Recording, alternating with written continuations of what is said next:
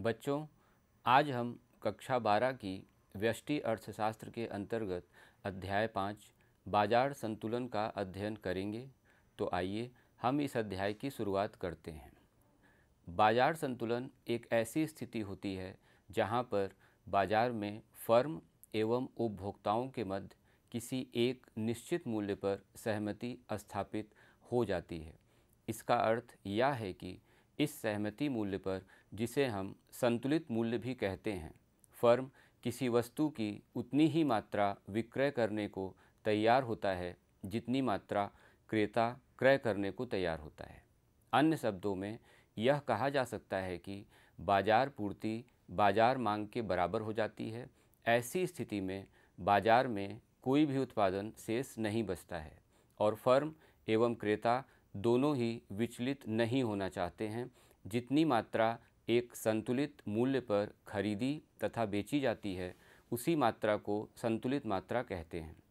अधिमांग बाज़ार में प्रचलित किसी कीमत पर जब कभी बाज़ार मांग बाज़ार पूर्ति से अधिक होती है तो उस स्थिति को अधिमांग की स्थिति कहते हैं। जैसे, यदि बाज़ार में प्रचलित मूल्य पर किसी वस्तु की मांग 100 इकाई है, किंतु उसकी पूर्ति 60 इकाई है तो इस स्थिति को अधिमांग की स्थिति कहते हैं। इसी प्रकार, जब बाज़ार में किसी प्रचलित मूल्य पर वस्तु की आपूर्ति, वस्तु की मांग से अधिक हो जाए तो ऐसी स्थिति को अधिपूर्ति की स्थिति कहते हैं। जैसे, यदि किसी प्रचलित मूल्य पर वस्तु की बाज़ार पूर्ति सौ इकाई हो, किंतु उसकी मांग साठ इकाई हो तो ऐसी स्थिति को अधिपूर्ति की स्थिति कहते हैं। पूर्ण प्रतियोगिता बाज़ार में संतुलन की स्थिति को शून्य अधिमांग एवं शून्य अधिपूर्ति के रूप में जाना जाता है, किंतु जब कभी बाज़ार में बाज़ार पूर्ति एवं बाज़ार मांग एक दूसरे के बराबर ना हो तो कीमतों में परिवर्तन की प्रवृत्ति पाई जाती है और बाज़ार अपने को संतुलित करने का प्रयास करती है। इस संबंध में क्लासिकल अर्थशास्त्री एडम स्मिथ की मान्यता रही है कि जब कभी बाज़ार में असंतुलन उत्पन्न होता है तो पूर्ण प्रतियोगी बाज़ार में अदृश्य हाथ द्वारा बाज़ार में पुनः संतुलन स्थापित किया जाता है। यह अदृश्य हाथ ही मांग एवं पूर्ति की शक्ति होती है। यह अदृश्य हाथ अधिमांग की स्थिति में कीमतों में वृद्धि एवं अधिपूर्ति की स्थिति में कीमतों में कमी करता है। अतः क्लासिकल अर्थशास्त्र की मान्यता रही है कि अदृश्य हाथ के द्वारा बाज़ार में पुनः संतुलन स्थापित हो जाता है। बाज़ार संतुलन जबकि फर्म की संख्या स्थिर हो। बाज़ार संतुलन के निर्धारण में मांग तथा पूर्ति की शक्ति एक साथ कार्य करती है। यदि मांग अथवा पूर्ति में से किसी एक में अथवा दोनों में परिवर्तन हो जाए तो संतुलित कीमत एवं संतुलित मात्रा दोनों में परिवर्तन देखने को मिलता है। यहाँ पर बाज़ार संतुलन की व्याख्या उसी स्थिति में की जा रही है, जबकि बाज़ार में फर्म की संख्या स्थिर हो। रेखा चित्र में डी डी बाज़ार मांग वक्र एवं एस एस बाज़ार पूर्ति वक्र को व्यक्त करता है। एक पूर्ण प्रतियोगी बाज़ार में संतुलन की स्थिति कैसे स्थापित होती है, इसे रेखाचित्र द्वारा स्पष्ट किया गया है। बाज़ार मांग वक्र उस मात्रा को दर्शाता है जिसकी मांग विभिन्न मूल्यों पर उपभोक्ता करने का इच्छुक है। इसी प्रकार बाज़ार आपूर्ति वक्र वह वक्र है जो वस्तु की उस मात्रा को दर्शाता है जिसकी पूर्ति फर्म विभिन्न कीमतों पर करने का इच्छुक है। रेखा चित्र में जिस बिंदु पर बाज़ार मांग वक्र एवं बाज़ार पूर्ति वक्र एक दूसरे का प्रतिच्छेदन करते हैं, वहीं पर संतुलित कीमत ओ पी स्टार एवं एक संतुलित मात्रा ओ क्यू स्टार निर्धारित होता है। यदि बाज़ार मूल्य किसी समय ओ पी स्टार से बढ़कर ओ पी टू हो जाए तो ऐसी स्थिति में वस्तु की बाज़ार पूर्ति ओ क्यू स्टार से बढ़कर ओ क्यू टू हो जाती है, जबकि वस्तु की मांग ओ क्यू स्टार से कम होकर ओ क्यू वन हो जाती है। इस स्थिति में बाज़ार में अधिपूर्ति देखने को मिलती है। इसी प्रकार, यदि मूल्य ओ पी स्टार से कम होकर ओ पी वन हो जाए तो बाज़ार पूर्ति ओ क्यू स्टार से कम होकर ओ क्यू वन हो जाती है, जबकि मांग ओ क्यू स्टार से बढ़कर ओ क्यू वन हो जाती है। ऐसी स्थिति को अधिमांग की स्थिति कहते हैं। रेखा चित्र में स्पष्ट है कि केवल ओ पी स्टार कीमत एवं ओ क्यू स्टार मात्रा पर ही बाज़ार संतुलन स्थापित होता है। अन्यथा, अन्य किसी भी मूल्य पर या तो बाज़ार में बाज़ार मांग बाज़ार पूर्ति से अधिक है अथवा बाज़ार पूर्ति बाज़ार मांग से अधिक है। यह दोनों ही स्थिति बाज़ार असंतुलन की स्थिति को दर्शाता है। बाज़ार मांग एवं बाज़ार पूर्ति की समानता केवल संतुलित मूल्य पर होती है, जिसे ओ पी स्टार द्वारा दर्शाया गया है। रेखा चित्र में ओ पी स्टार से अधिक किसी भी कीमत पर अधिपूर्ति एवं ओ पी स्टार से कम किसी भी कीमत पर अधिमांग की स्थिति होगी। श्रम बाज़ार में मजदूरी निर्धारण। श्रम बाज़ार में श्रम की मांग फर्म द्वारा की जाती है, जबकि श्रम की आपूर्ति घरेलू क्षेत्र से की जाती है। यहाँ यह स्पष्ट करना ज़रूरी है कि श्रम का अभिप्राय श्रमिकों द्वारा किए गए कार्य के घंटों से है। न कि श्रमिकों की संख्या से। श्रम बाज़ार में मजदूरी का निर्धारण, श्रम के लिए मांग तथा श्रम की पूर्ति वक्र के प्रतिच्छेदन द्वारा होती है। जहाँ श्रम की मांग एवं पूर्ति बराबर हो जाए, वहीं पर संतुलित मजदूरी दर निर्धारित हो जाती है, जिसे रेखा चित्र में स्पष्ट किया गया है। एक अकेली फर्म द्वारा श्रम की मांग की जाँच के लिए हम यह मान लेते हैं कि श्रम उत्पादन का अकेला परिवर्ती कारक है। और श्रम बाज़ार पूर्ण प्रतिस्पर्धा में है। इसका अर्थ है कि प्रत्येक फर्म के लिए मजदूरी दर दी हुई है। यहाँ यह बता देना आवश्यक है कि जिस फर्म के विषय में यह विश्लेषण किया जा रहा है, वह भी स्वभाव से पूर्ण प्रतिस्पर्धी है, जो लाभ अधिकतम करने के उद्देश्य से उत्पादन करती है।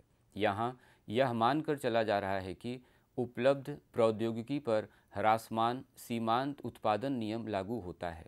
लाभ अधिगमकर्ता होने के कारण फर्म सदैव उस बिंदु तक श्रम का उपयोग करेगी जिस पर श्रम की अंतिम इकाई के उपयोग की अतिरिक्त लागत उस इकाई से प्राप्त अतिरिक्त लाभ के बराबर है। श्रम की एक अतिरिक्त इकाई को उपयोग में लाने के लिए अतिरिक्त लागत मजदूरी दर होती है। श्रम की एक अतिरिक्त इकाई द्वारा अतिरिक्त निर्गत उत्पादन, उसका सीमांत उत्पाद तथा प्रत्येक अतिरिक्त इकाई निर्गत के विक्रय से प्राप्त अतिरिक्त आय फर्म की उस इकाई से प्राप्त उपरांत सीमांत प्राप्ति है। अतः श्रम की प्रत्येक अतिरिक्त इकाई के लिए उसे जो अतिरिक्त लाभ प्राप्त होता है, वह सीमांत संप्राप्ति तथा सीमांत उत्पादन के गुणनफल के बराबर है।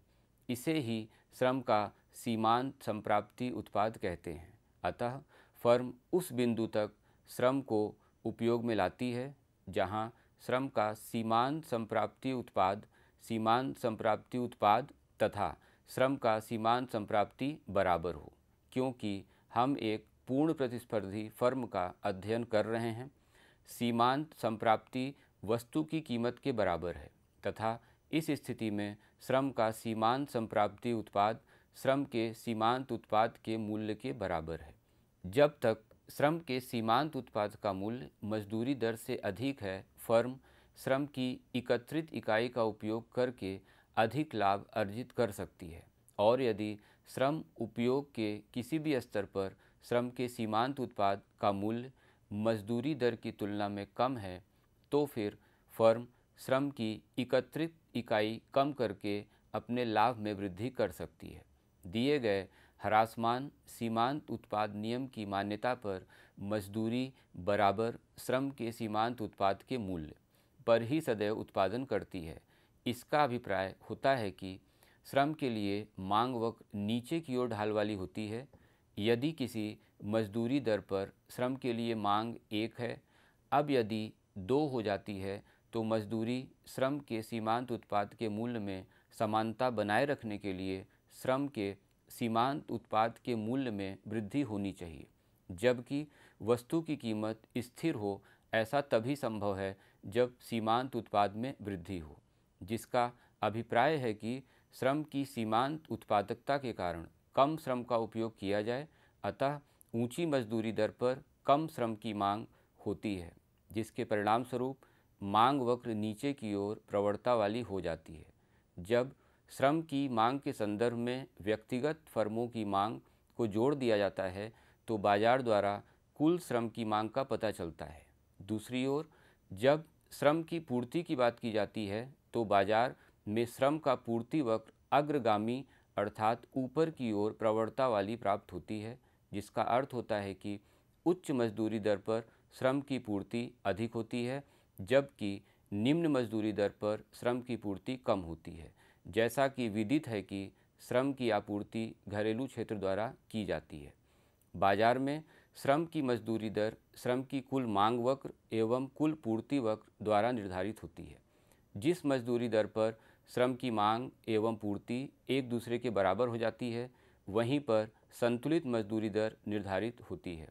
रेखा चित्र में जिस बिंदु पर श्रम की मांग वक्र एवं श्रम की पूर्ति वक्र एक दूसरे का प्रतिच्छेदन करते हैं वहीं पर श्रम की मजदूरी निर्धारित होती है, जिसे रेखा चित्र में व्यक्त किया गया है। संतुलित मूल्य एवं संतुलित मात्रा में परिवर्तन। बाज़ार संतुलन का विश्लेषण इस मान्यता के साथ किया जाता है कि उपभोक्ताओं की रुचियों तथा अधिमानों संबंधित वस्तुओं की कीमतों, उपभोक्ताओं की आय, प्रौद्योगिकी, बाज़ार का आकार, उत्पादन में प्रयोग होने वाले साधनों की कीमतें आदि स्थिर रहते हैं। यद्यपि इनमें से एक अथवा एक से अधिक कारकों में परिवर्तन होने की वजह से या तो पूर्ति वक्र या मांग वक्र अथवा दोनों की संतुलित कीमत तथा मात्रा को प्रभावित करते हुए विवर्तित हो सकते हैं। संतुलित कीमत एवं संतुलित मात्रा पर मांग के विवर्तन का प्रभाव। बाज़ार में वस्तु के संतुलित कीमत एवं संतुलित मात्रा में मांग में विवर्तन की वजह से परिवर्तन देखने को मिलता है, जिसे रेखा चित्र द्वारा स्पष्ट किया गया है। जिस बिंदु पर बाज़ार मांग वक्र एवं बाज़ार पूर्ति वक्र एक दूसरे का प्रतिक्षेद करते हैं, वहीं पर संतुलित कीमत एवं संतुलित मात्रा का निर्धारण होता है। रेखा चित्र में ई बिंदु पर बाज़ार मांग वक्र डी डी एवं बाज़ार पूर्ति वक्र एस एस एक दूसरे को प्रतिक्षेद करते हैं। जहाँ संतुलित मूल्य को ओ पी एवं संतुलित मात्रा ओ क्यू का निर्धारण होता है। अब यदि किसी वजह से बाज़ार मांग वक्र दाहिनी ओर विवर्तित हो जाए, अर्थात डी डी से डी वन डी वन हो जाए, जबकि बाज़ार पूर्ति वक्र अपने स्थान पर स्थिर रहे तो बाज़ार में नया संतुलन ई वन बिंदु पर निर्धारित होता है, जहाँ नई कीमत ओ पी वन एवं नई मात्रा ओ क्यू वन निर्धारित होती है। यहाँ यह स्पष्ट रूप से देखा जा सकता है कि बाज़ार मांग के बढ़ जाने से अधिमांग की स्थिति उत्पन्न होती है, जिसकी वजह से मूल्य में वृद्धि देखने को मिलता है। इसी प्रकार यदि बाज़ार मांग वक्र बाईं ओर विवर्तित हो जाए, अर्थात मांग में कमी आ जाए और मांग वक्र डी डी से डी वन डी वन हो जाए, जबकि पूर्ति वक्र अपने स्थान पर रहे तो उसकी वजह से संतुलित कीमत ओ पी से कम होकर ओ पी वन हो जाती है, जिसे रेखा चित्र में देखा जा सकता है। ऐसी स्थिति में अधिपूर्ति देखने को मिलती है। संतुलन कीमत एवं संतुलन मात्रा पर पूर्ति के विवर्तन का प्रभाव। बाज़ार में वस्तु की संतुलित कीमत एवं संतुलित मात्रा पर पूर्ति में परिवर्तन का प्रभाव भी देखने को मिलता है, जिसे रेखा चित्र में स्पष्ट रूप से देखा जा सकता है। बाज़ार मांग वक्र डी है, जबकि बाज़ार पूर्ति एस है। बाज़ार संतुलन ई बिंदु पर निर्धारित होता है, जहाँ मांग एवं पूर्ति वक्र एक दूसरे का प्रतिक्षेद करते हैं। इस बिंदु पर संतुलित कीमत ओ पी एवं संतुलित मात्रा ओ क्यू निर्धारित होती है। इसी प्रकार, यदि बाज़ार पूर्ति बढ़ जाए तो उसके परिणाम स्वरूप नया मूल्य ओ पी वन एवं नई संतुलित मात्रा ओ क्यू वन निर्धारित होती है।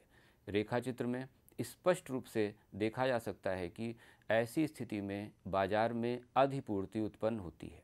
इसी प्रकार, यदि बाज़ार मांग वक्र स्थिर हो एवं बाज़ार पूर्ति बाईं ओर विवर्तित हो जाए, अर्थात पूर्ति में कमी आ जाए तो उसके परिणाम स्वरूप संतुलित कीमत एवं मात्रा में परिवर्तन देखने को मिलता है। रेखा चित्र में ई बिंदु पर संतुलित कीमत एवं संतुलित मात्रा निर्धारित होती है। जब बाज़ार पूर्ति वक्र बाईं ओर एस एस से विवर्तित होकर एस एस वन हो जाती है तो नई कीमत ओ पी से ओ पी वन हो जाती है। इसी प्रकार संतुलित मात्रा ओ क्यू से कम होकर ओ क्यू वन हो जाती है। बाज़ार मांग एवं बाज़ार पूर्ति में एक साथ होने वाले परिवर्तन का संतुलित कीमत एवं मात्रा पर प्रभाव। बाज़ार में जब मांग एवं आपूर्ति दोनों ही वक्रों में विवर्तन देखने को मिलता है तो संतुलित कीमत एवं मात्रा पर उसका प्रभाव उत्पन्न होता है। ऐसी चार विभिन्न संभावना हो सकती है, जबकि मांग एवं पूर्ति एक साथ विवर्तित हो रहे हों, जो निम्नलिखित हैं। पहला, मांग एवं पूर्ति दोनों वक्रों का दाएँ ओर विवर्तन। दूसरा, मांग एवं पूर्ति दोनों वक्रों का बाईं ओर विवर्तन।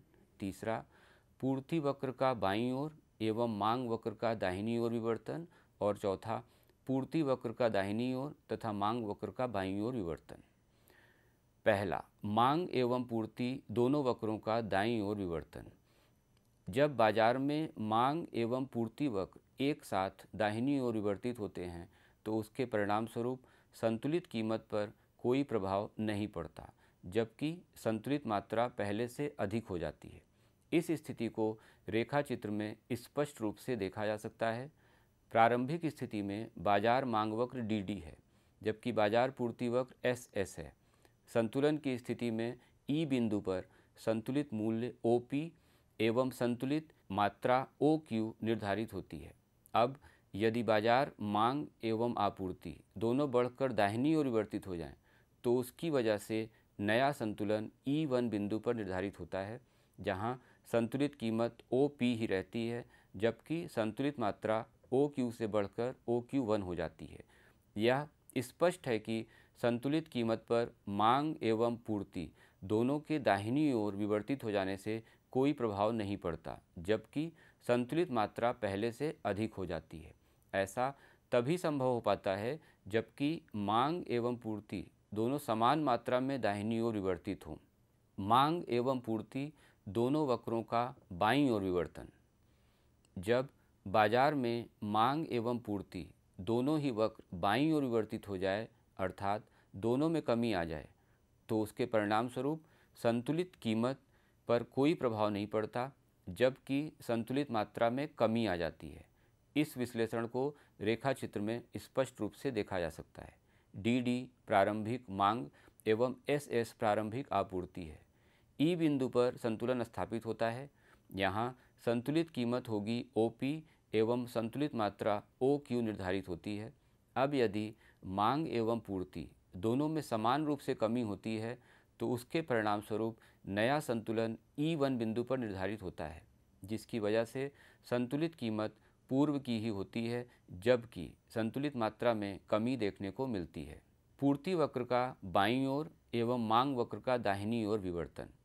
यदि मांग वक्र दाएँ और पूर्ति वक्र का बाईं ओर विवर्तन हो तो उसकी वजह से संतुलित कीमत में वृद्धि हो जाती है, जबकि संतुलित मात्रा में वृद्धि, कमी अथवा अपरिवर्तित रह सकती है। इस स्थिति को रेखा चित्र में देखा जा सकता है। पूर्ति वक्र का दाहिनी ओर तथा मांग वक्र का बाईं ओर विवर्तन।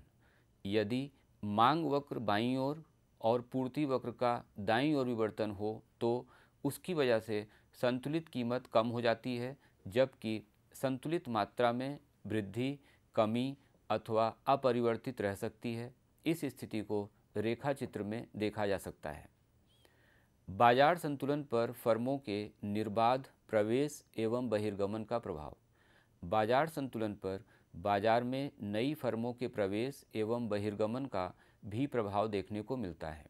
बाज़ार में नई फर्म तब प्रवेश करती है जबकि किसी उद्योग में, बाज़ार में पहले से कार्य कर रही फर्मों को असामान्य लाभ प्राप्त हो रहा हो। ऐसी स्थिति में नई फर्म उस उद्योग में आकर्षित होती है। परिणामस्वरूप, बाज़ार में फर्मों की संख्या बढ़ जाती है और फर्मों को प्राप्त होने वाला असामान्य लाभ समाप्त हो जाता है। इसी प्रकार, जब किसी बाज़ार में फर्मों को हानि हो रही हो तो कुछ फर्म बाज़ार छोड़कर बाहर चली जाती हैं, जिससे फर्मों की संख्या में कमी हो जाती है। असामान्य लाभ एवं हानि को न्यूनतम औसत लागत एवं कीमत की तुलना से समझा जा सकता है। जब फर्म वस्तु का मूल्य उसके न्यूनतम औसत लागत से ज़्यादा प्राप्त कर रही हैं तो इसे असामान्य लाभ की स्थिति कहा जाता है। इसके विपरीत, यदि वस्तु का मूल्य न्यूनतम औसत लागत से कम प्राप्त हो रहा हो तो फर्म को हानि सहनी पड़ती है। अतः हानि की स्थिति में फर्म बाज़ार से बहिर्गमन करती है, जबकि असामान्य लाभ की स्थिति में बाज़ार में प्रवेश करती है। दीर्घकाल में बाज़ार कीमत सदैव न्यूनतम औसत लागत के बराबर होती है, एवं फर्मों को केवल सामान्य लाभ ही प्राप्त होता है। उच्चतम निर्धारित कीमत। उच्चतम निर्धारित कीमत का आशय किसी वस्तु के ऐसे मूल्य से है, जो सरकार द्वारा बाज़ार में निर्धारित संतुलित मूल्य से कम निर्धारित किया जाता है। ऐसा सामान्यतया आवश्यक वस्तुओं के संबंध में किया जाता है, जैसे गेहूँ, चावल, मिट्टी का तेल, चीनी इत्यादि। जब मांग एवं पूर्ति की शक्ति द्वारा बाज़ार में किसी आवश्यक वस्तु का मूल्य उच्च स्तर पर निर्धारित होता है तो सरकार द्वारा उपभोक्ताओं को संरक्षण प्रदान करने के लिए एक उच्चतम कीमत का निर्धारण किया जाता है, जो संतुलित कीमत स्तर से कम होता है। इसे रेखा चित्र में स्पष्ट रूप से देखा जा सकता है, जबकि मांग एवं पूर्ति क्रमशः डी डी एवं एस एस हैं, जो एक दूसरे को ई बिंदु पर प्रतिक्षेद करते हैं, जहाँ वस्तु का मूल्य ओ पी स्टार निर्धारित होता है। सरकार द्वारा इस मूल्य से कम एक अधिकतम मूल्य ओ पी निर्धारित किया जाता है, जिससे उस वस्तु की अधिकतम कीमत निर्धारित कर दी जाती है। इससे ज़्यादा मूल्य विक्रेता द्वारा नहीं वसूला जा सकता है। सरकार द्वारा सार्वजनिक वितरण प्रणाली के अंतर्गत गेहूँ, चावल, चीनी, मिट्टी का तेल आदि आवश्यक वस्तुओं की कीमत निर्धारित कर दी जाती है, जिससे कि निर्धन वर्ग एवं समाज के कमज़ोर वर्ग के लोगों को बढ़े हुए मूल्य से संरक्षण प्राप्त हो सके और वह अपने जीवन का निर्वाह कर सकें। न्यूनतम निर्धारित कीमत। सरकार द्वारा जब किन्हीं वस्तुओं के संबंध में मांग एवं पूर्ति की शक्ति द्वारा निर्धारित मूल्य से अधिक मूल्य निर्धारित किया जाए तो उसे ही न्यूनतम निर्धारित मूल्य कहा जाता है। ऐसा सामान्यतया कृषि वस्तुओं के संबंध में किया जाता है, जबकि किसानों को एक न्यूनतम मूल्य प्रदान किया जाए। इस बात का आश्वासन सरकार द्वारा न्यूनतम समर्थन मूल्य द्वारा कराया जाता है। जब कभी बाज़ार में मांग एवं पूर्ति की शक्ति द्वारा निर्धारित मूल्य बहुत कम हो जाए, ऐसे में सरकार उत्पादकों को एक न्यूनतम मूल्य की गारंटी देती है, जिसे न्यूनतम निर्धारित कीमत द्वारा निर्धारित किया जाता है। इसे रेखा चित्र में स्पष्ट रूप से देखा जा सकता है। बच्चों, अब तक हम लोगों ने बाज़ार संतुलन के अंतर्गत मांग एवं पूर्ति की शक्ति द्वारा बाज़ार संतुलन पर पड़ने वाले प्रभाव का अध्ययन किया। बाज़ार में जब मांग एवं पूर्ति वक्र में परिवर्तन होता है तो संतुलित कीमत एवं मात्रा पर उसका क्या प्रभाव पड़ता है? इसके अतिरिक्त, उच्चतम निर्धारित कीमत एवं न्यूनतम निर्धारित कीमत से क्या आशय है? इसकी चर्चा हम लोगों ने की। आइए, आप कुछ अभ्यास प्रश्न के माध्यम से यह जाने कि आपने यह अध्याय कितने अच्छे से समझा है। अतः, आप इन प्रश्नों का अपनी उत्तर पुस्तिका में जवाब लिखेंगे। पहला प्रश्न बाज़ार संतुलन की व्याख्या कीजिए। दूसरा प्रश्न, अधिमांग एवं अधिपूर्ति का क्या आशय है? तीसरा प्रश्न, उच्चतम निर्धारित कीमत एवं निर्धन एवं निम्नतम निर्धारित कीमत से क्या आशय है? चौथा, जब बाज़ार में मांग एवं पूर्ति दोनों ही विवर्तित हो जाते हैं तो उसका संतुलित कीमत एवं मात्रा पर क्या प्रभाव पड़ता है? रेखा चित्र के माध्यम से स्पष्ट कीजिए। तो बच्चों, यह अध्याय हमारा पूर्ण होता है। धन्यवाद।